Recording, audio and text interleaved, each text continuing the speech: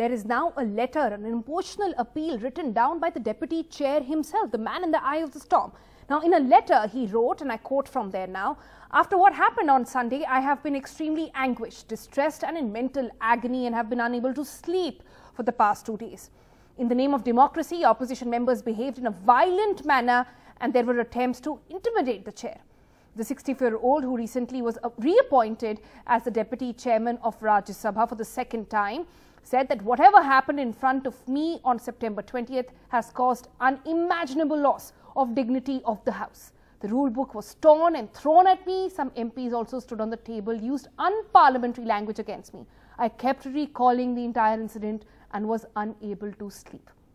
But before he wrote that letter, he actually ended up going and visiting those MPs, those eight suspended MPs who were camped inside the parliament premises overnight. This is what happened earlier in the day.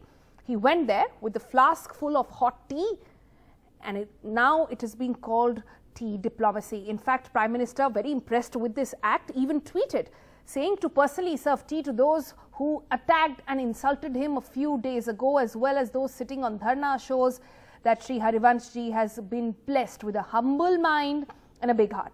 It shows his greatness. I join the people of India in congratulating Harivanshji.